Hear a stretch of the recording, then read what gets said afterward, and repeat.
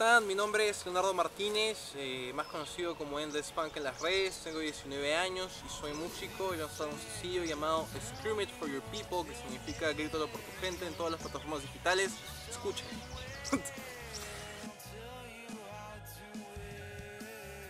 es que tenía un, un, username en Twitter que era Endless Punk y de ahí me creé un Instagram y también tenía que ponerle eh, un nombre, ¿no? Dije, bueno, usar el mismo. Entonces cuando se me ocurrió lanzar el sencillo, yo dije, tengo que tener un nombre artístico para que la gente me pueda encontrar en las redes. Y dije, ¿para qué cambiarlo si es que ya tengo este? Y nadie más lo tiene, ¿no? Bueno, hay una banda mexicana, pero se llama así, pero están separados, entonces no importa. Y dije, bueno, lo usaré y, quedó.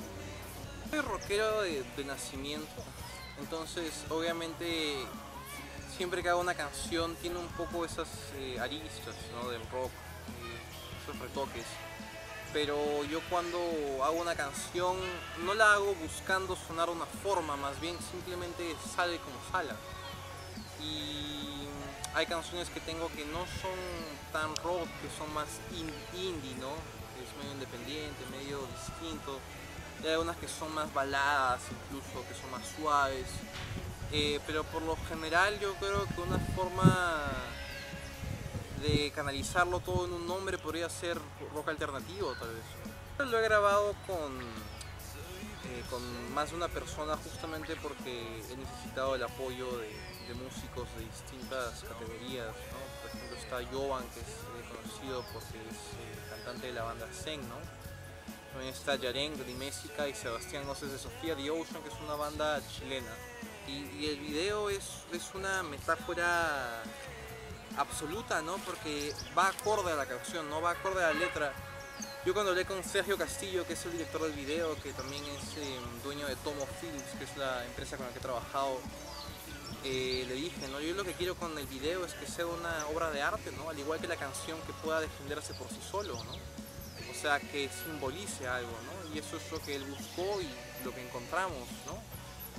Y estoy muy contento con ello porque de hecho el video es súper metafórico, o sea, hay imágenes eh, que no, no son tan literales, no tienes que pensarlo porque es más abstracto, como aparece un pollo, no sé si lo han visto, que salen un poco de contexto, si es que lo ves con esa premisa de que es un video musical que te transmite algo visual, ¿no? También es un poco de el proceso mental al verlo es lo que hace que el video sea tan tal vez para mí grotesco, pero en el buen sentido, o sea, es un video eh, muy histriónico, ¿no? traté de ser muy expresivo sí, estoy, estoy contento con lo que quedó, el resultado final ha sido muy, muy bonito. Me gusta mucho hablar y me gusta mucho estar en cámara porque como mi padre siempre ha estado dentro de este medio, tal vez eh, se me ha hecho natural, ¿no? porque me nace hacerlo, entonces cuando se trata de, del video de por sí fue una experiencia muy bonita.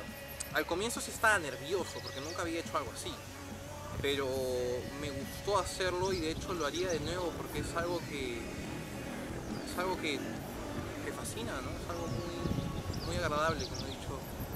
Y, y sí, no encontré las personas adecuadas para poder formar una banda. Entonces las, las solo, ¿no? Para que no haya mucha presión de promedio.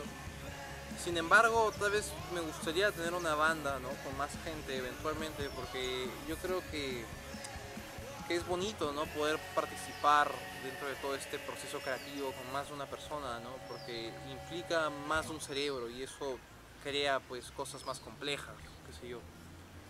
Pero por el momento soy solista y creo que me mantendré así por un tiempo. You don't want to